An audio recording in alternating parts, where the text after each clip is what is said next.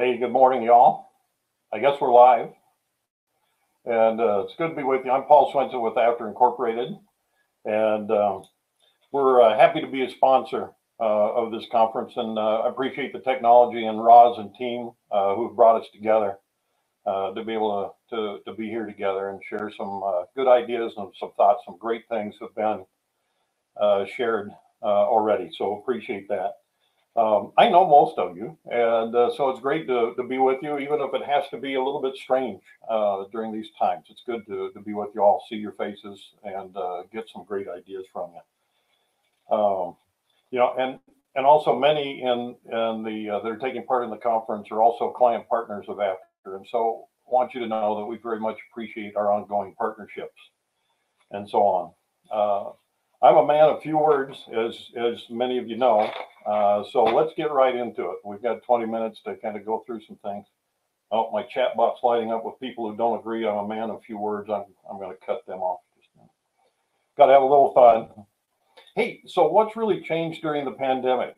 Uh, what additional opportunities exist? Will they last? Uh, or have they always existed? They're just a little different. Uh, how can I know more about my end user customers? And uh, how do I stay relevant and increase uh, lifetime value and loyalty with them. So during the pandemic, we've seen a lot of changes. No surprise there. We got new office protocols. Many of our offices are still closed. Uh, travel restrictions. Uh, we got new local protocols uh, that we're all dealing with. Virtual meetings like this one. One of my favorite things that, that I hear often is uh, when someone doesn't turn their video on, uh, they'll they'll sometimes say, "I'm just not video ready today." I really like that one. Um, we have found, and many companies have found, that hey, remote offices uh, and working from remote offices can work really well. Uh, in fact, it can be uh, very economical and also very efficient. And so I think we'll see some ongoing changes uh, there as well. Uh, it's oftentimes, this has been mentioned already this morning, it's oftentimes easier to get a hold of key people. Um, you know, especially when we're working from home or limited in the office. It can work in reverse, but most often it's easier to get a hold of key people. And then we have change on top of change. So just as soon as we think we've got things kind of figured out, then we have more changes again, and that's going to continue for a while. But it's also created new levels of creativity.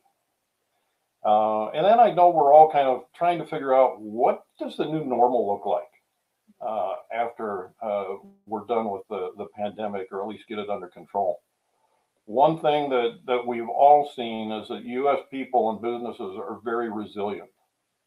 And uh, in spite of some of the things we've seen, the core of this country and the businesses here, uh, I, I, think have demonstrated a, a, great resiliency and are bouncing back really well. So here are some of the uh, changes that we've seen.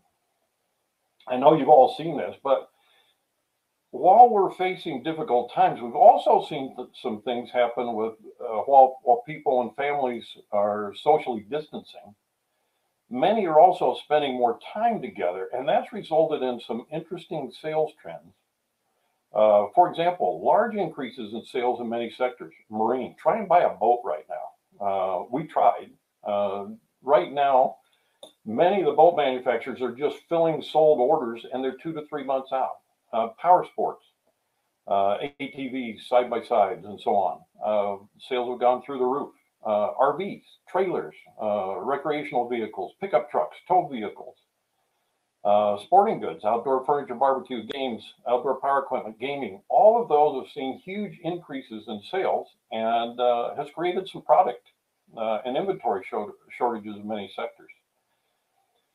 At the same time, and I think this has been, you know, talked uh, this morning really well, and that is the service contract attach rates have increased, both at point of sale and miss point of sale. Consumers are buying and they're protecting uh, their product. It, we saw the same thing, by the way, in the so-called Great Recession. Uh, attach rates went up.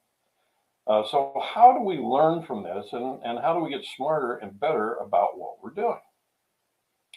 Uh, so what new opportunities are created, and have they really changed? Uh, I would suggest that these opportunities have always existed, uh, but they're more important than ever. And we're also seeing a difference in the way consumers purchase. Uh, and so we need to stay on top of those emerging trends. And I'm also going to suggest that most manufacturers and retailers are not doing a very good job of keeping their customers engaged between major purchases, in spite of what they might think on the surface. And we'll go more into this. And when they don't do a great job of keeping the customers engaged between the purchase purchases, they they lose revenue, they lower repurchase rates, uh, and they let customers go to competitors. So some of the questions that you know we kind of ask of each other as we help um, you know these situations and and customers through their lifetime value uh, stream, if you will, is what percentage of the customers bought extended service plans? Uh, how many consumers buy OEM parts? Or do they buy aftermarket parts? Uh, where does each customer purchase their aftermarket supplies? Again, are they third, purchasing third-party accessories and consumables? Are they going back to the OEM? Uh, how many customers are at risk of buying a competitive product? Uh, how many and when are they in the market to repurchase?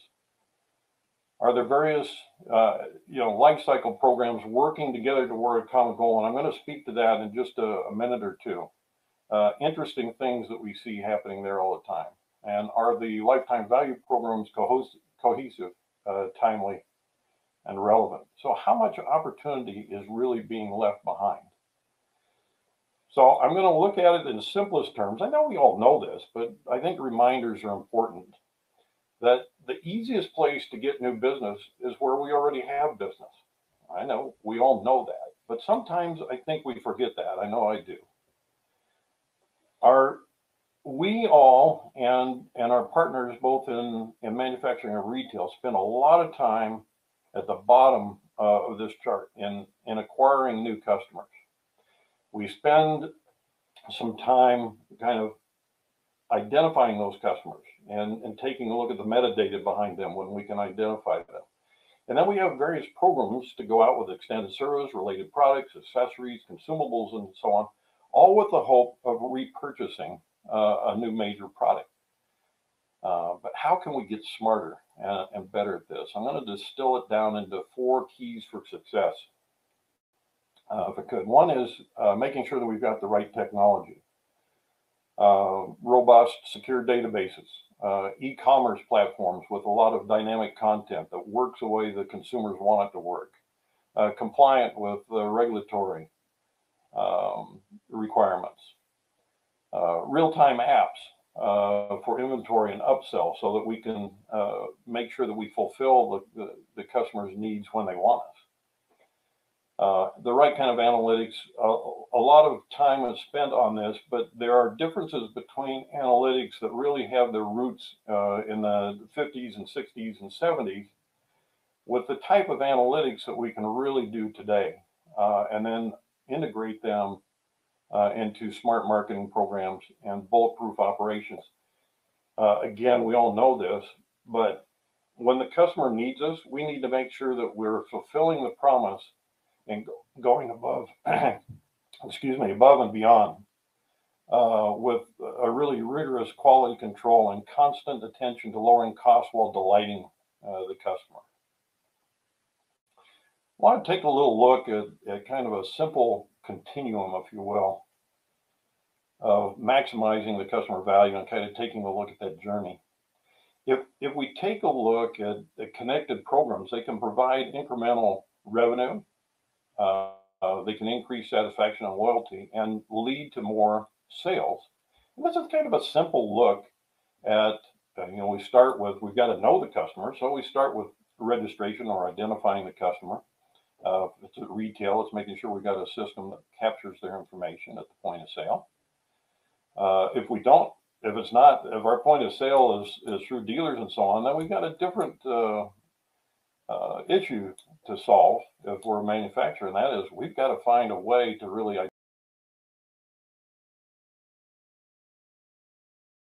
identify those customers. Um, so we oftentimes start with extended service contracts. Uh, we'll have a thank you, a subscription program, maybe a loyalty program, a maintenance program, and so on. Uh, but they're often disjointed. And, and so I want to take a look at some phase examples. And this, this is just an example. Uh, there's a there's kind of a a uh, saying that I like, and that is don't try to boil the ocean. Start somewhere. And so if we look at this continuum and we say, you know, I want to identify customers, I want to look at accessories, consumables, subscription programs, loyalty programs, maintenance, uh, and all those along the way. The very foundation of this is to make sure that we've got the right registration experience and technology and to incorporate uh, analytics right at that point. Um, if we don't have a service contract program, we need to build one, to start one. If we have one today, how can we change it up? How can we make it different? How an example is, you know, you, you think back, many of us have been around for a while. Think back on laptops and and, and uh, tablets and so on. First it was break fix, then we act, added accidental damage. Now there's data and image and memory recovery uh, that can protect the the most valuable uh, asset uh, on those products, which is the data, the images, the memories, and so on. So expand those service contract programs to include missed point of sale. Expand them to dealers, uh, do renewals, uh, incorporate accessories and consumables into those marketing uh, phases and do it in a very uh, consistent way. Um, and as we do that, we can also take a look at the service contract program and realize that oftentimes that service contract program can fund the lifetime value strategy as it evolves. Um, here's one of the issues we see too, by the way. Um, going to talk about this in a second here. A lot of times we hear um, partners or potential partners say, hey, we've got several of these programs. We're in pretty good shape. But when you peel the layers back, they're not. And, and we see oftentimes that while these some of these programs may exist, they oftentimes lack the necessary ingredients of a really, truly individual customer targeted approach.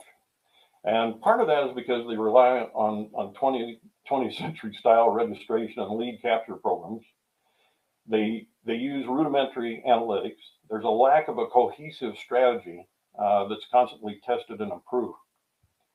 And there's no real feedback mechanism. Uh, typically, what happens is, oh, we sent uh, out this direct mail, we sent out these emails, our attach rate was X.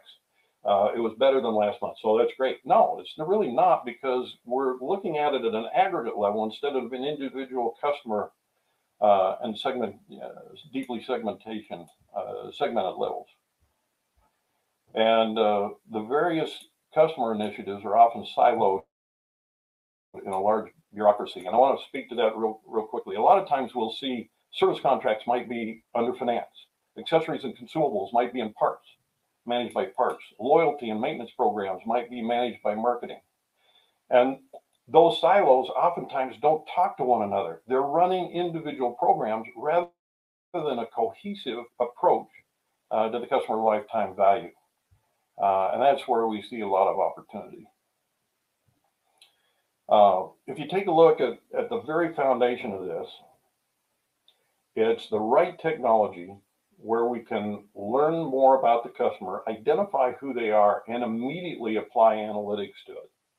So the second that customer is identified, every single one of them needs to come into that registration or identification process and immediately be evaluated against the existing customer base so that we can instantaneously household them and score them and start to put them on a very relevant strategy for that particular customer.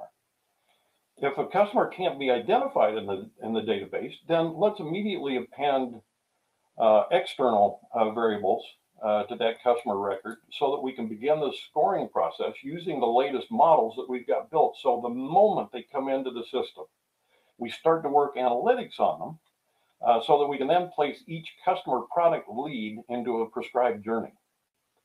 Uh, and then uh, we need to use our models to reevaluate and rescore each customer along the journey. And I'll give you an example. Let's say I purchased a lawn tractor. Uh, and uh, shortly thereafter, I got a direct mail solicitation uh, suggesting that I should come in and purchase a, a, a, dump wagon that goes along with that lawn tractor. And let's say I choose to purchase that over the web and I purchase it over the web and I have it shipped to me. That happens all the time now. That should change me in that customer continuum so that the next solicitation that I get, because I, I purchased through the web. So the, the next solicitation I get in that continuum for more accessories or consumables or whatever should be email with a hot link, uh, with a with a personal URL, as opposed to the more expensive direct marketing. And and that should and then if I don't respond to that, then we can come back to direct mail. But we need to do that on the fly. We can't fall into the trap of treating every customer lead the same way uh, because we miss a lot of opportunity that way. This is just one example of part of the journey. Let's say it's service contracts. It needs to be multi-channel. We can do things like put a PQR code that shows up through the envelope window so the customer doesn't even need to open the envelope. They can put their phone up against it and boom, it pops them right into the mobile application so that they can make a purchase. A personal URL um, in the uh, direct marketing letter or a hot link uh, personal URL uh, in the email. So it takes them directly to uh, their own personal landing page, showing them the product that they purchased, not just a general product, but the exact one that they purchased. Customers will know that we know them. Uh, and when they do, they're more apt to buy. And, and this is just one example of the, the customer journey.